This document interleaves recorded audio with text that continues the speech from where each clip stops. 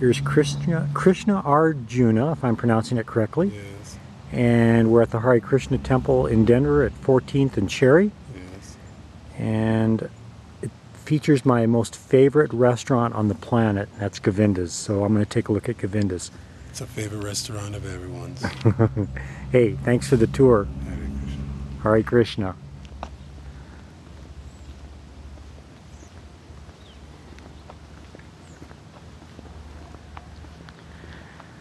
It's the 5th of February 2009, midwinter. But we're having extraordinarily nice weather today. Good day to pop into Govinda's, but unfortunately, I'm an hour too early. And the sunlight is almost perfect, so I thought I'd video record this now. And with luck, maybe come back an hour from now or so and get the interior.